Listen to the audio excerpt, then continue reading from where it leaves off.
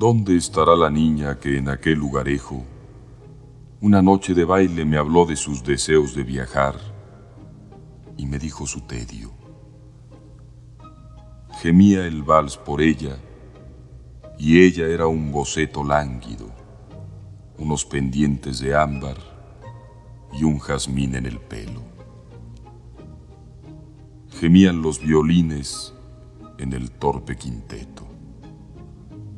E ignoraba la niña que al quejarse de tedio conmigo, se quejaba con un péndulo. Niña que me dijiste en aquel lugarejo, una noche de baile, confidencias de tedio. Donde quiera que exhales tu suspiro discreto, nuestras vidas son péndulos. Dos péndulos distantes que oscilan paralelos en una misma bruma de invierno.